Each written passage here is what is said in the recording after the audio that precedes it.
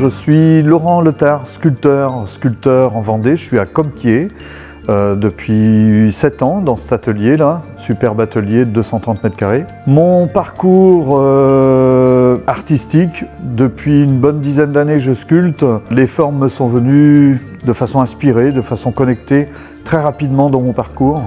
Et très rapidement, je suis tombé un petit peu dans, ces proportions du nombre d'or, des proportions euh, divines qu'on appelle euh, dans le jargon. Euh, le 1,618, c'est le nombre d'or qui sont omniprésentes sur la partie de mon œuvre.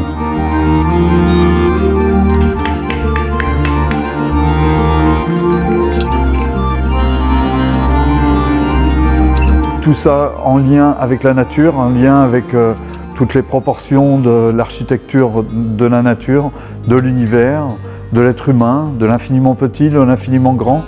Et ce que j'aime à retranscrire dans mes œuvres, d'une manière générale, c'est euh, ma compréhension de la vie, on va dire, mes étapes, mes épreuves, mes prises de conscience et euh, mon évolution vibratoire. Je parle beaucoup de vibration à travers mes œuvres parce que je pense que toute la matière vibre, que ce soit humain, euh, de la matière minérale, végétale, tout vibre.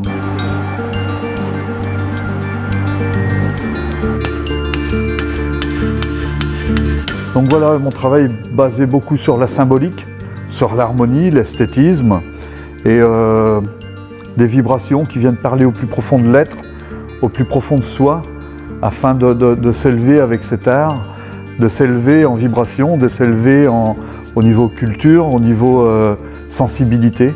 Alors de ce fait, ce que je, mon souhait, c'est de continuer à créer des pièces pour le grand public, pour les lieux publics. Voilà.